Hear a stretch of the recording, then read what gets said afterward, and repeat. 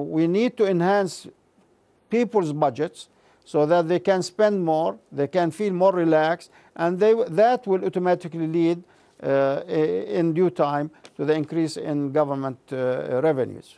That requires a very strong effort on the part of the Jordanian government, the part of the Jordanian people, and the private sector.